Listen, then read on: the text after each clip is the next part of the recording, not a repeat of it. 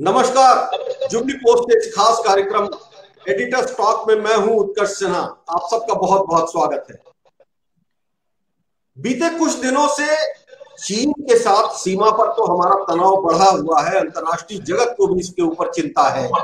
लेकिन इसके साथ एक ऐसा समस्या हमारे सामने, ऐसी समस्या बनने लगी है। जो ये नहीं समझ में आ रहा है सदियों से जिस नेपाल के साथ हमारे रोटी बेटी के संबंध थे, वो नेपाल हमें आर्थिक बीते कुछ दिनों के घटनाक्रम को अगर हम देखें तो हमें बहुत साफ़ ये दिखाई दे रहा है कि नेपाल ने एक के बाद एक कई ऐसी हरकतें की है जिस भारत के लिए कतई थी। सबसे पहले ने अपने लक्ष्य जो हम मानते रहे हैं कि हमारा है। नेपाल अब उसको सुगौली संधि से जोड़ के देता है। उसके बाद थोड़े दिन बीते थे कि बिहार में सीतामढ़ी बॉर्डर के ऊपर नेपाली पुलिस ने गोलियाँ चला दी भारतीयों के ऊपर। फिर ये सफ़ाई आई। ये आपस में गोली चली।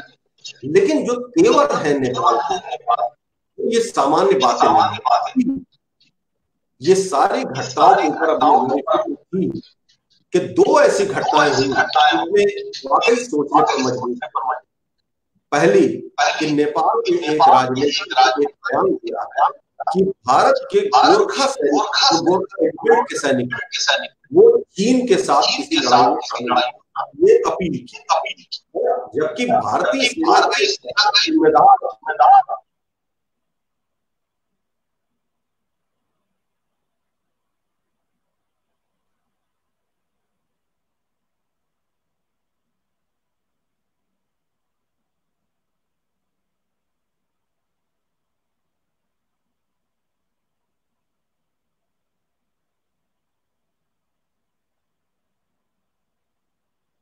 कनेक्शन की प्रॉब्लम थी इसलिए हम थोड़ा वो लेकिन इस मसले दूर क्यों हो रहा है नेपाल करने के लिए बड़ा विशेषज्ञ पैनल हमारे पास है। डॉक्टर शिरीष पाठक ने हमारे पास अंतर्राष्ट्रीय मामलों के विशेषज्ञ है।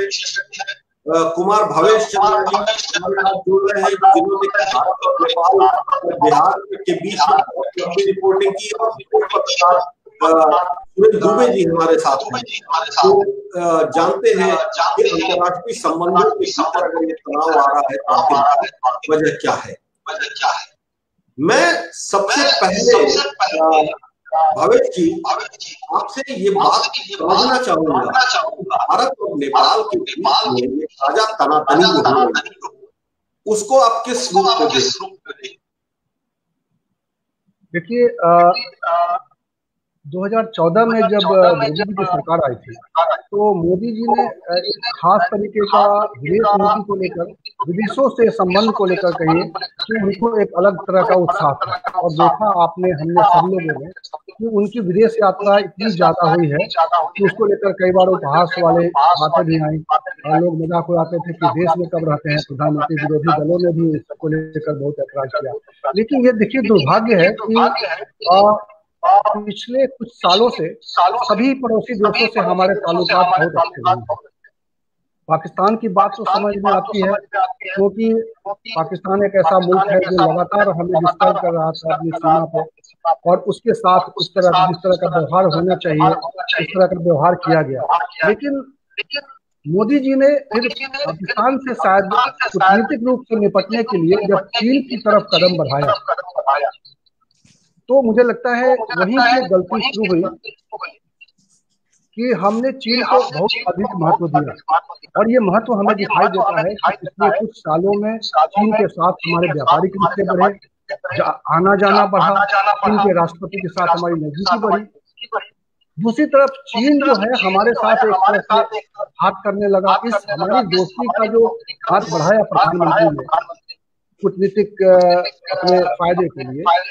उसको शायद चीन ने एक सही तरीके से नहीं लिया और उसको आप देखिए कि चीन ने एक तरीके से अपनी रणनीति के तहत उसने नेपाल की पीठ खपी और भारत में आए थे चीन के प्रधानमंत्री शी जिनपिंग। तो वो नेपाल भी गए थे। बहुत बड़ा करार किया था बहुत पैसे दिए थे और उसके बाद से ही ये परिस्थिति बदल रही है।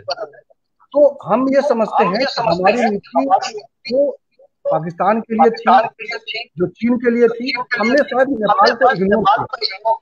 जबकि नेपाल में पिछले सालों से लगातार परिवर्तन हो रहे हैं।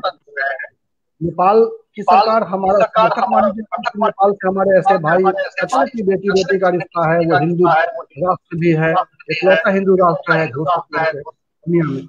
और इसलिए हम ये मानते हैं कि हमारे करीबी रिश्ते हैं।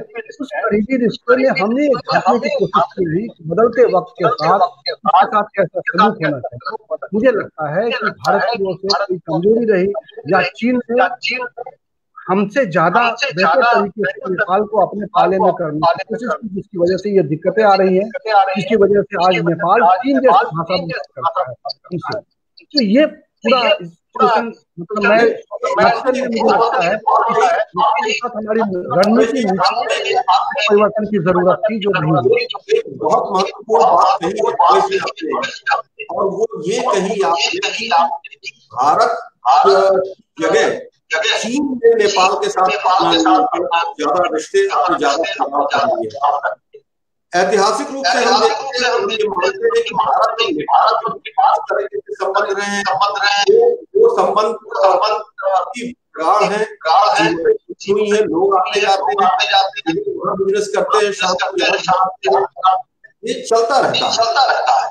सेना के भीतर के भीतर बहुत कामयाब लेकिन आपको आपको लगता है कि लगता है कि तौर पर कहीं ना कहीं कमज़ोर पड़ा है भाव आ गया नेपाल के ऊपर नेपाल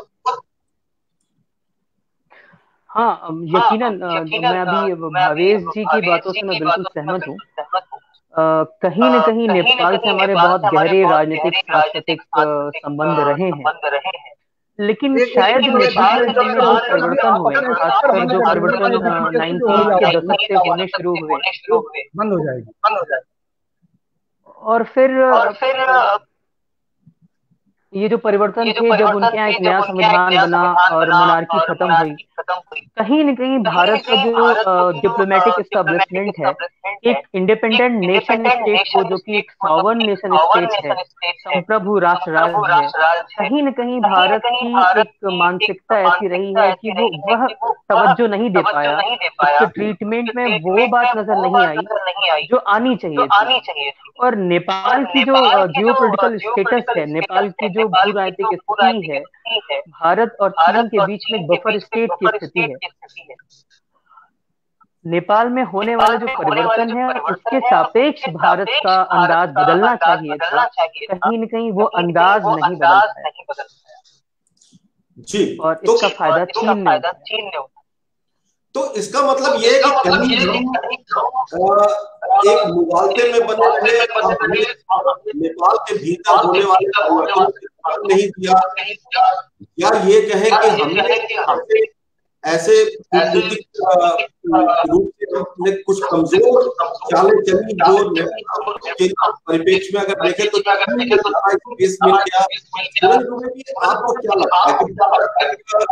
नेपाल को अगर खो रहा है मैं ये कहने में मुझे कोई मुझे कोई नेपाल को खो रहा तो अगर भारत नेपाल नेपाल एक ऐसी जगह को जहाँ बफर जोन पहले तिब्बत था। एक तरफ़ पहले ही चीन ने में ले लिया। नेपाल है और भूटान। के डोकलाम में हमने देखा एक हरकत हुई थी। नेपाल क्योंकि ये भी कहा जा रहा है कि ग्यारह इलाके ऐसे हैं अपने कब्जे में तो हम कहा हम भारत सरकार के सरकार अगर हम देखें तो चीज़ को देखें देखिए, मैं आपको बताता हूँ उसका आप इसको राजशाही के समय से देखिए तो भारत जो है, नेपाल में जो वहाँ के पोलिटिकल पार्टी थी या आंदोलन करने वाले राजशाही के खिलाफ लोग थे, उन सबको सपोर्ट करती थी इंडिया और उनके अधिकांश आंदोलन भी भारत की धरती से चलते थे। और आप तो गोरखपुर के रहने वाले, आपको याद होगा, वहाँ के बड़े बड़े नेता वो गोरखपुर में प्रसर पाते थे। जब वहाँ ये सत्ता परिवर्तन हुआ तो हम ये भूल गए कि अब एक इंडिपेंडेंट डेमोक्रेटिक राष्ट्र हो गया है। और हमको ये नहीं समझना चाहिए कि हम इनको चूँकि राजशाही के खिलाफ सपोर्ट करते रहे तो वहाँ का जनमानस हमारे साथ ऐसा नहीं था। खैर, परिस्थितियाँ बदली। चीन एक विस्तारवादी नीति का एक देश है, जो अपनी सामरिक ताकत और अपनी आर्थिक ताकत के बल पर इस पूरे एशिया में आप देखिए जो लगातार घुसपैठ बना रहा है चाहे पाकिस्तान हो चाहे बांग्लादेश हो चाहे नेपाल का मामला हो तो उसने सोचा देखे जैसे पाकिस्तान में घुस गया तो वहाँ अर्थव्यवस्था पर उसका पूरा कब्जा हो गया। जी। अब पाकिस्तान के पास कोई तरीका नहीं कि चीन के चंगुल से बच सके इतना पैसे से जैसे सूदखोर होता है कि आपको कर्ज में लाद दिया अब आपको उसकी बात माननी नेपाल भी वही गलती कर रहा है। आज जिस ढंग से इन्वेस्टमेंट वहाँ हो रहे हैं, और आप क्या समझते हैं कि जो नेपाल की हिम्मत हुई कि भारत का कहीं बाँध नहीं बनने दे रहा, कहीं उसके लोग गोली चलाए दे रहे हैं, उन्होंने अपना पूरा मैप बदल दिया तो ज़ाहिर है चीन ने उनके सर पर हाथ रखा कि तुम चिंता मत करो, हम पूरी तरह तुम्हारे साथ हैं। और इस बीच जो हमें उनको इकोनॉमिक सपोर्ट देना था, कई बार हमने उनकी आर्थिक नाकेबंदी कर दी। तो नेपाल को ये लगा कि यार हम अकेले भारत के भरोसे क्यों रहे नेपाल भी अगर हमको आर्थिक मदद देना चाहता तो दे। नेपाल चूँकि डेमोक्रेटिक कंट्री नहीं है। वो अपना एक विस्तारवादी नीति में वो अनाथना पैसा भी झोंक देगा। और दूसरी तरफ़ वो तमाम उनके इलाकों पर नेपाल के उसने कब्जा भी कर लिया, जैसा उसने पाकिस्तान में किया। अब नेपाल के लिए दिक्कत ये हो गई है कि जब एक बार उसने मोर्चा खोल लिया है भारत के खिलाफ। तो उसके पास एक ही चारा है कि वो चाइना के साथ बना रहे। क्योंकि अगर वो चाइना के साथ हटता है तो जितना उनका इन्वेस्टमेंट है वो गड़बड़ा जाए। और ये ये गलती हमने भी की। हमारे यहाँ भी जो उनका इन्वेस्टमेंट तो भले हमको न चाहिए लेकिन बत्तीस या चौंतीस परसेंट इम्पोर्ट हमारे पूरे देश का वो नेपाल चाइना से। लेकिन ये पॉइंट है एक पॉइंट है ये एक पॉइंट है जिसके ऊपर डॉक्टर श्रीश ज़रूर ये बात बताना चाहेंगे कि क्या दक्षिण एशिया में जिस तरीके से हम देख रहे हैं पूरे दक्षिण एशिया के भीतर कि श्रीलंका को देख लीजिए तो वो चीन के नियंत्रण में हद तक है। बांग्लादेश को चीन ने बहुत किया। पाकिस्तान को तरीके कॉलोनी में कन्वर्ट क्या भारत सरकार में भारत की डिप्लोमेसी इस नतीजे पे नहीं पहुँच पाई थी तो देखने की क्या हो रहा है? कहीं तो चुके हैं श्रीज नहीं यकीनन अगर अगर बहुत ज़्यादा यथार्थ रूप से इसकी व्याख्या की जाए तो निश्चित तौर पे कोई भी गंभीर विश्लेषक ये मानेगा कि भारत की विदेश नीति कम से कम मोदी जी के आने के बाद हो सकता है कि दुनिया के और क्षेत्रों में बहुत ही प्रभावशाली रही। लेकिन दक्षिण एशियाई मामलों में कहीं न कहीं हमसे लगातार चूक हो रही है जो महत्व हमें दे, देना चाहिए था भारत को वो अपने पड़ोसियों के साथ अपने संबंधों को बनाने में उतने सक्षम नहीं हो पाए। लेकिन इस विमर्श के साथ मैं एक बात जोड़ना चाहता हूँ कि अगर इस पूरे विमर्श को हम इस दृष्टिकोण से देखना शुरू करें कि भारत और नेपाल में जो हालिया विवाद है कि केंद्र में चीन है तो कहीं ना कहीं हमसे एक गलती हो जाएगी क्योंकि अगर हम थोड़ा सा थोड़ा सा हम अभी 2015 के मई में पहुँचे। मई में पहुँचे। तो भारत और चीन ने अपनी जो ट्रेड टॉक की थी उसमें उन्होंने जो लिपुलेख वाला दर्रा है वहाँ से उन्होंने ये तय किया था कि भारत और चीन आपस में व्यापार करेंगे। अब 2015 में संप्रभु राष्ट्र भारत भी है संप्रभु राष्ट्र चीन भी है लेकिन चीन और भारत दोनों ने ही संप्रभु राष्ट्र नेपाल को नेपाल को उस प्रक्रिया में शामिल करना ज़रूरी नहीं समझा। और इस वजह से ऐसा हुआ ऐसा हुआ कि नेपाल के जो प्रधानमंत्री थे उन्होंने अपनी नाराज़गी ना केवल भारत सरकार से दर्ज कराई बल्कि चीन से भी दर्ज कराई। तो मई मई 2015 में दो हज़ार पंद्रह में एक और बड़ी घटना घटती है जहाँ पे जो हमारे मधेसी समुदाय के लोग हैं जिनका संबंध भारत से काफ़ी गहरा है उन्होंने प्रोटेस्ट करने की शुरुआत की और वो चाहते थे कि जो आगामी संविधान है उसमें उनके हिसाब से कुछ परिवर्तन किए जाए ताकि आने वाले जो नया राष्ट्र होगा नेपाल का लोकतांत्रिक राष्ट्र उसमें उनके लिए भी कुछ कंसेशन हो। और एक स्थिति बनती है जहाँ पे अपरोक्ष रूप से कहा जाता है कि भारत की भूमिका है और उन्होंने ब्लॉकेट किया था। 2015 के बाद यहाँ पे यकीन से आपको रेखा अंकित करना पड़ेगा कि चीन को सीधे चीन को ब्लेम करना। मैं ये नहीं कहता कि चीन की भूमिका नहीं है, निश्चित तौर पे होगी, लेकिन केवल और केवल चीन की भूमिका यहाँ पे नहीं है, गलती हम लोगों से भी हो रही है। मई 2015 में हमने जो बात की, उसके बाद 2020 के मई 8 तारीख को हमने एक लिंक रोड की घोषणा की है, जो धारचूला से लेके लिपुलेख तक जाता है। और ये जो एरिया है, ये इसके पहले तक थोड़ा सा ऐतिहासिक रूप से हम देखें तो ये वो एरिया है जो भारत और नेपाल आज़ादी के बाद से, भारत की आज़ादी के बाद से पारंपरिक रूप से वो अपने अपने मैप में दिखाते रहे हैं। लेकिन एक लेकिन मई आठ 2020 में जो लिंक रोड माननीय राजनाथ सिंह ने जो घोषणा की थी उसके बाद से नेपाल ने फिर से आपत्ति जताई कि अगर वो क्षेत्र ऐसा था जहाँ पे हमारे हमारे अपने अंडरस्टैंडिंग के हिसाब से हम उसका इस्तेमाल करते थे तो भारत अगर कोई भी नया कदम उठाता है तो उसे नेपाल को विश्वास में तो लेना ही चाहिए था। और उसके बाद एक और स्थिति आती है कि जो हमारे जो नेपाल के प्रधानमंत्री हैं, ओली साहब, उनके बारे में कहा जाता है कि उनकी अपनी स्थिति देसी राजनीति में थोड़ी डगमगा रही है। तो उन्होंने एक राष्ट्रवादी स्वर लेते हुए इसको बहुत अच्छा मौका देखा और उनकी संसद ने 2020 में 20 मई को नेपाल का एक नया मैप जारी कर दिया और वहाँ पे उन्होंने उन क्षेत्रों को भी दिखा दिया जो अभी तक नेपाल ने अपने क्षेत्र में नहीं दिखाया था। मैप में दिखाने का अर्थ ये है कि अब भारत की निगोसिएशन नेपाल के साथ इतनी आसान नहीं होने वाली है, क्योंकि अब चीज़ें थोड़ी फॉर्मल लेवल पे जा रही हैं। अब भारत को बहुत तगड़ा बार्गेन करना पड़ेगा। ये ये जो बात कह रहे हैं भवेश जी, ये जो शीर्ष बात कह रहे थे वो ये कह रहे हैं कि नेपाल ने जो नक्शा दिखा दिया, अपना नक्शे में जो परिवर्तन कर दिया, और अब तो वो नेपाल की संसद ने भी उसको पारित कर दिया है। तो क्या कूटनीतिक स्तर पर भारत के लिए बहुत बड़ी चुनौती हो गई है? क्योंकि अब तो एक नया सीमा विवाद खड़ा हो गया ना, एक ऐसे देश के साथ सीमा विवाद में हम चले गए, जिसके साथ लंबे समय तक हम खुली सीमाओं के साथ रहे हैं, एक अंडरस्टैंडिंग के साथ रहे हैं। अब बिल्कुल। आप देखिए कि जब ईस्ट इंडिया कंपनी थी और तब जो हमारे साथ या कह सकते कि जो भारत भूमि से नेपाल के खिलाफ में युद्ध हुआ था और उसके बाद जो एक संधि हुई थी वो एक आधार है उसके पास। और उस आधार के आध, उसी आधार पर जो है एक जो नदी है काली नदी जिसकी वो जिसका जो यहाँ से ओरिजिन है उससे वो नेपाल अभी क्लेम कर रहा है। एक तिकोना सा जो एक तिकोना सा जगह है जो नेपाल में उस पर वो चाइन नेपाल क्लेम कर रहा है। जो अब तक भारत के अधिकार क्षेत्र में रहा है वहाँ भारत की जो जो हमारे उत्तराखंड से जुड़े हुए इलाके हैं वहाँ पे उस साइड की बात कर रहा हूँ मैं।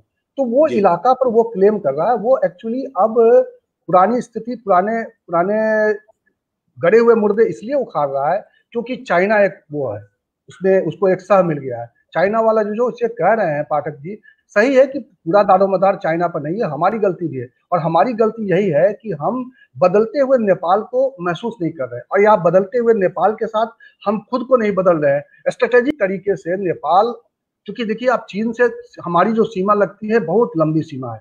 मतलब हमारे देश से करीब साढ़े तीन हज़ार किलोमीटर की जो सीमा है वो चीन हमारे पूरे बहुत बड़ा एरिया में हमारे से मतलब एक चुनौती का, इस चुनौती की स्थिति है। और नेपाल उसमें हमारे लिए एक बहुत बड़ी ताकत रही है, क्योंकि एक बफर स्टेट के तौर पे वो हमारा एक रक्षा कवच रहा है। तो इस लिहाज से भी मैं कह रहा हूँ कि नेपाल की अहमियत है, लेकिन शायद इस अहमियत को हमने नेपाल को टेकन फॉर ग्रांटेड होता है ना, कुछ चीज़ें कि छोटा भाई को हम मान लेते हैं कि वो हमारे, हर बात में मेरे साथ शामिल हो जाएगा। लेकिन उस छोटे भाई को जब पड़ोसी का कोई ऐसा सह सह मिल जाता है पड़ोसी के से ऐसा कोई प्रलोभन मिल जाता है तब वही छोटा भाई बड़ी बातें करने लगता है बड़े भाई से आँख दिखा के बातें करने लगता है। ये सेम यही स्थिति नेपाल के साथ उभर के आ रही है। हमने अंडर अंडरमाइन किया है नेपाल को और इसमें हमारी गलती है। चाइना ने उसको नेपाल में क्रांति हो गया भारत फेल हो गया। जब नेपाल में क्रांति हो रही थी, उस दौर में मैंने नेपाल के कई दौरे खुद किए हैं और मैंने एक चीज़ ज़रूर महसूस की कि नेपाल अब वो पुराना वाला नेपाल नहीं रह गया है। नेपाल के क्रांति में जो सबसे बड़ी जो बदलाव आया नेपाल के भीतर, वो ये था कि वहाँ के लोगों के भीतर आप स्वाभिमान जगाया गया। और वहाँ पर जब आप स्वाभिमान की बात आती तो भारत का रवैया जो रहा है हमेशा, आम आदमी की बात अगर हम कर ले तो हम नेपाल के लोगों को जिस तरह से ट्रीट कर रहे थे तो वो भी एक परिवर्तन था। और वो 2005 का जो बदलाव था उसने नेपाल को बहुत कुछ बदल दिया अंदर से भी। राजशाही का जाना एक अलग बात है लेकिन नेपाल के भीतर भी बहुत कुछ बदला। और वो नेपाल के भीतर का जो बदलाव था उसको शायद हम कहीं समझ नहीं पाए। डॉक्टर शिरीष ये आ, समझना बहुत ज़रूरी है कि अब एक तरफ़ दक्षिण एशिया में हम कमज़ोर हो रहे हैं दूसरी तरफ़ हम इस वक्त फ्रंट खुले हुए हैं हमारे सामने। हमारे सामने फ्रंट खुला हुआ है पाकिस्तान परमानेंट फ्रंट है ओपन चीन भी ओपन हो गया है और अब नेपाल। तो ऐसी स्थिति के भीतर भारत को किस तरह से आ, समझने की ज़रूरत है कि डिप्लोमेटिक फ्रंट पर वो क्या करे? हाँ उत्कर्ष जी दो तीन चीज़ें भारत के पक्ष में बहुत बहुत अच्छे से जाती हैं और वहीं से हमारी कूटनीति की शुरुआत होनी चाहिए। पहले तो हमारे पास बहुत ही मज़बूत, गहरा वितान है संबंधों का और ऐसा कोई दूसरा देश नहीं है जिससे जिससे नेपाल के संबंध इतने गहरे रहे हैं। निश्चित तौर पे एक शुरुआत हमें लगातार वहाँ से करनी चाहिए और उससे हमें कतई कतई भूलना नहीं चाहिए। दूसरी बात यह है कि नेपाल के कूटनीतिक जो जो उनकी एक सर्किल है, उन्हें ये अच्छी तरह पता है कि एक तरफ़ भारत है, जो कम से कम एक अगर दुनिया की सबसे बड़ी शक्ति नहीं है तो भी एक एक शक्ति उभरती हुई महाशक्ति तो है ही। दूसरे चीन को भी नजरअंदाज नहीं किया जा सकता। एक बार हमें यह मनस्थिति भी समझनी चाहिए कि आप एक लैंडलॉक्ड कंट्री हैं और आपके एक तरफ़ दुनिया का दुनिया की सबसे बड़ी शक्ति को चुनौती देने वाला चीन है जिसने अपना फ्रेंडशिप हाईवे खोल रखा है, जैसे हम नेपाल में आ जा सकते हैं, वैसे ही नेपाली नेपाल के लोग चीन में आ जा सकते हैं और सारी चीज़ें बिज़नेस कर सकते हैं। और एक तरफ़ भारत है, जो जो अपने अपने कुछ मायनों में ही एक मायनों में ज़रूर एक उभरती शक्ति है। तो भारत की डिप्लोमेसी की शुरुआत वो उन्हें पता है, नेपाल के लोगों को पता है कि वो उस तरह से फ्रंट नहीं कभी खोल पाएँगे कि वो बिल्कुल से एंटी इंडियन हो जाएँगे। लेकिन हाँ एक बफर स्टेट होने के नाते जो बार्गेनिंग पावर है, जो बार्गेनिंग कैपेसिटी है एक स्वतंत्र राष्ट्र है, संप्रभु राष्ट्र है, निश्चित ही नेपाल ये चीज़ नहीं खोना चाहेगा। अगर भारत की जो डिप्लोमेटिक सर्किल है, इस बात को समझते हुए उनसे बात करे और उन्हें ये बात समझ में आ जाए कि नहीं, नेपाल एक संप्रभु राष्ट्र है और एक इक्वल लेवल प्लेइंग फ़ील्ड पे हमें बात करनी पड़ेगी। तो निश्चित तौर पे किसी भी और देश के मुकाबले भारत के संबंध ज़्यादा बेहतर होंगे क्योंकि विश्व राजनीति में एक ही सिक्का चलता है, वो क्रेडिबिलिटी का सिक्का होता है। और भारत और चीन के अगर कूटनीतिक इतिहास की बात करें तो भारत कहीं बीस पड़ता है चीन से। इसलिए मैं हमेशा कहूँगा कि अगर भारत अपने तय कोशिश करना शुरू कर दे, गंभीर कोशिश करना शुरू कर दे तो निश्चित तौर पे नेपाल से संबंध अच्छे होंगे। इसमें मैं एक बात रेखांकित करना चाहूँगा। 2015 में मोदी जी की गवर्नमेंट ने ही एक बहुत अच्छी पहल की थी। एमिनेंट एमिनेंट पर्सन ग्रुप बनाया था, जिसमें नेपाल और भारत दोनों के ही तरफ़ के रिप्रेजेंटेटिव थे और उन लोगों ने बहुत अच्छी स्टडी की। जिसपे उन्होंने ओपन बॉर्डर सिस्टम पे बात की है जिसपे उन्होंने इन ये जो बॉर्डर डिस्प्यूट के छोटे छोटे हिस्से हैं और कुछ रणनीतिक हिस्से हैं उन पे बात की है वो रिपोर्ट 2018 में आ गई है। लेकिन वो रिपोर्ट जो है नेपाल से साझा नहीं की गई है और उस रिपोर्ट पे फिर अभी बात भी नहीं हो रही है। कूटनीति का कोई भी रास्ता उस रिपोर्ट को साझा करते हुए और बाहें फैलाते हुए ही आगे बढ़ सकता है। यहाँ पे एक बात बहुत महत्वपूर्ण कही है श्रीष ने कि क्रेडिबिलिटी का सिक्का चलता और क्रेडिबिलिटी का सिक्का अगर चल रहा है तो क्या भारत सरकार भारत की जो वर्तमान सरकार है उसने नेपाल के साथ जो दो बड़े फैसले लिए एक तो जो अर्थक्वेक जब आया था नेपाल में जब भूकंप आया था तो उस वक्त मदद तो काफ़ी गई भारत से लेकिन वहाँ पर कुछ तनातनी हो गई थी। और वहाँ पे नेपालियों ने ये कह दिया कि भाई आप अपनी मदद लेके आप चले जाइए। लेकिन उसके बाद जो एक लैंड लॉक पोजिशन जो हुई थी एक पैतालीस सैतालीस दिन जो चला हुआ आ, बिल्कुल सीमाओं के ऊपर लॉक कर दिया था भारत सरकार ने एक जो सीमाबंदी कर दी थी उसको लेके बड़ा निगेटिव असर भी हमने देखा है नेपाल के भीतर। तो सुरेंद्र दुबे जी जो सरकार है हमारी भारत की में इस वक्त नरेंद्र मोदी की सरकार है और उत्तर प्रदेश में योगी आदित्यनाथ ने भी एक बड़ा बयान चीन को लेकर दिया था नेपाल से बतौर महंत गोरखनाथ मठ के महंत उनका बड़ा रिश्ता है। तो ये जो सरकार है, इसका अप्रोच नेपाल को लेके आपको क्या दिखाई दे रहा है? देखिए, यही एक समस्या की जड़ है। अभी जो मोदी जी की विदेश से मुख्यता क्या है, एक उनको यह रहा कि भाई अमेरिका दुनिया का सबसे पावरफुल कंट्री है तो उनको, उनके साथ अच्छे रिश्ते बना दूसरा ये हुआ कि भाई चाइना हमारे लिए प्रॉब्लम कर सकता है तो आपने देखा कि उन्होंने गुजरात में झूला झुलाया, साउथ में ले जा करके तमाम के सम्मान में कार्यक्रम किए। वो ये भूल गए कि जो हमारा इमीडिएट पड़ोसी एक नेपाल है, जिसके हमारे सदियों से संबंध है, इसकी आकांक्षाओं को हम समझे। इसकी आकांक्षा को नहीं समझा तो देखिए जो छोटा मुल्क है, जिसके पास अपने संसाधन बहुत कम है, वो किसी न किसी पर डिपेंड करेगा। पहले वो भारत पर डिपेंड करता था। अब वो चीन पर, जब उसने देखा कि ये सारा इनकी दोस्ती का जो कार्यक्रम है, वो चीन से ही चल रहा है, नेपाल को कोई बहुत तरजीह नहीं दी जा रही है, जबकि भारत और नेपाल की क्या स्थिति है? ईस्टर्न यूपी बिहार तक जितना बॉर्डर अब हमारा, देखिए, वो जितना हमारा ट्रेड जिसको कहते हैं स्मॉल ट्रेड वो सब बॉर्डर पर जो है, उसमें इंडिया के लोग ही वहाँ बैठे हुए रहे हैं। नेपाल और हमारे बीच जो रिश्ते हैं कि एक दूसरे की ज़मीन एक ही जगह है हमारी ज़मीन नेपाल से भी मिलती है, इंडिया में भी है। दिन में हम नेपाल की धरती पर अपनी खेती करते हैं, शाम को अपनी धरती पर लौट आते सब इस ढंग से बना हुआ है।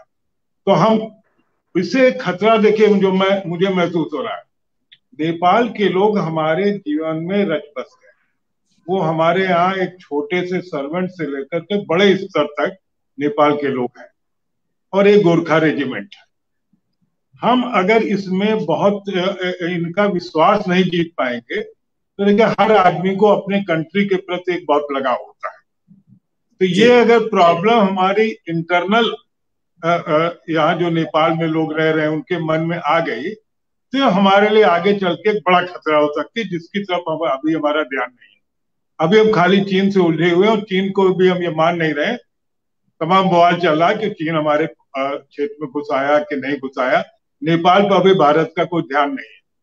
बिहार में उसने सीतामढ़ी के पास जो डैम पर रोकने की कोशिश की, उस सबको भी हम बिहार के चुनाव से ज़्यादा जोड़ के देख रहे हैं। तो उसका जो लॉजिकल वो होना चाहिए कि आखिर हम कहाँ फंस सकते हैं। क्योंकि ये जो डे टू डे हमारी वर्किंग है नेपाल के साथ, और जो हमारा पूरा समाज नेपाल के साथ जुड़ा हुआ है, घर के नौकर से लेकर बड़े बड़े पदों तक लोग जो, अगर ये बात गड़बड़ाएगी तो मुझे लगता है उत्कर्ष जी की बात आगे चल के हमारे लिए काफ़ी खतरनाक हो सकती है। इसलिए हमको बहुत ही। गंभीरता से इस बात को लेना चाहिए। ये जो बात कही आपने बिल्कुल इस वक्त ये प्रोग्राम का समय हमारा समाप्त हो रहा है लेकिन ये दो तीन बातें बहुत महत्वपूर्ण है। एक तो नेपाल के बदलाव को हमें रणनीतिक रूप से समझना होगा कूटनीतिक रूप से समझना होगा क्योंकि दक्षिण एशिया में जो सबसे ज़्यादा स्वाभाविक हमारा पड़ोसी रहा है, वो नेपाल रहा है। और नेपाल और भूटान ऐसे बफर इलाके थे जहाँ पर आर्मी को लेकर के हम उस बॉर्डर को निश्चिंत रहते थे, लेकिन अब नेपाल की सीमा के ऊपर भी नेपाल के सैनिक, सशस्त्र सैनिक खड़े होने लगे हैं। तो एक तरफ़ चीन, दूसरी तरफ़ पाकिस्तान, और मैं ये भी कहने में कोई हिचक नहीं है कि चीन बहुत कामयाबी से नेपाल को अपनी तरफ़ ले रहा है। शायद प्रधानमंत्री केपी ओली जो नेपाल के हैं, उनका झुकाव काफ़ी हद तक चीन की तरफ़ है। चीनी कम्युनिस्ट पार्टी के नेता हैं। लेकिन बतौर सरकार, हम इतना मशहूर कैसे खो सकते हैं कि हम अपने उस पड़ोसी को धीरे धीरे धीरे धीरे जहाँ पर चीज़ें बदल रही हैं, हम उसको नियंत्रित ना कर पाए। तो भारत सरकार को भी सोचना पड़ेगा और ऐसे मौके पर ट्रैक टू डिप्लोमेसी को बढ़ाना पड़ेगा, बयानों को बचाना पड़ेगा जहाँ से तनाव बढ़ते हैं और बजाय उसके सार्क के सिद्धांत को लेकर के जो दक्षिण एशिया के देशों को मिला के चलने की एक बात थी नॉन मिलिट्री कोऑपरेशन की बात थी, उसको लेकर के चलना होगा। उसके अलावा नेपाल को अपने साथ लाने के लिए हमारे पास कोई दूसरा रास्ता नहीं है। ये बात बहुत स्पष्ट है। चीन लगातार कोशिश करता रहेगा कि नेपाल कैसे उसके पाले में खड़ा रहे, लेकिन हमें ये देखना पड़ेगा कि नेपाल को खोना भारत फ़िलहाल अफोर्ड नहीं कर सकता अपनी दक्षिण एशिया के जियो पॉलिटिकल सीनेरियो के लिए। आप लोगों का बहुत बहुत शुक्रिया हमसे जुड़ने के लिए। और फेसबुक पे जिन लोगों ने हमें लाइव देखा, वो हमें यूट्यूब पर भी लाइव देख सकते हैं। जुबली पोस्ट के यूट्यूब चैनल पर। हमारे वेबसाइट www.jubileepost.in पर भी आप हमें लगातार पढ़ सकते हैं विश्वसनीय खबरें और अंतर्राष्ट्रीय मामलों की विश्वसनीय खबरों को लेकर के। आप हमसे जुड़े रहिए, हमारे यूट्यूब को सब्सक्राइब कीजिए, हमारे फेसबुक को सब्सक्राइब कीजिए और हम आपसे वादा करते हैं कि लगातार गंभीर बहस का ये सिलसिला हम आपके साथ चलाते रहेंगे। नमस्कार, धन्यवाद।